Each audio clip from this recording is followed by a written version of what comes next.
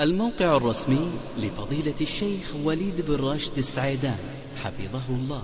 يقدم. السلام عليكم ورحمة الله وبركاته. تقول السائلة حصل بينها وبين زوجها مشادة في الجوال. تقول فقمت باستفزازه بالطلاق. فقال لها أنت طالق. تقول ثم رددت عليه مرة ثانية. فقال أنت طالق. تقول ثم رددت عليه ثالثة. فقال أنت طالق. فما الحكم؟ الحمد لله رب العالمين وبعد.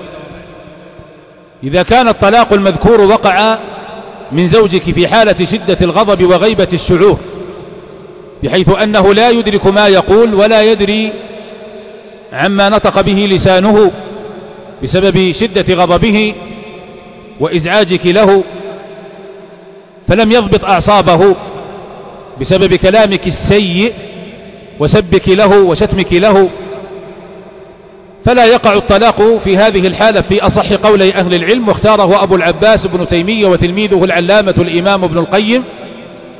وكذلك يفتي به شيخنا الشيخ عبد العزيز رحمه الله وكثير من أهل العلم.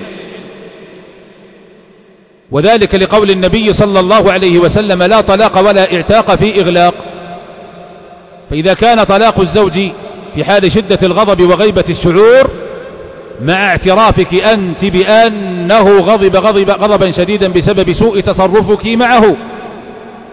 فإن طلاقه غير واقع لأن الدليل الشرعي دل على أن شدة الغضب مما يرفع مما يرتفع به التكليف. فالقول الصحيح في طلاق الغضبان جدا أنه لا يقع أنه لا يقع. والله أعلم.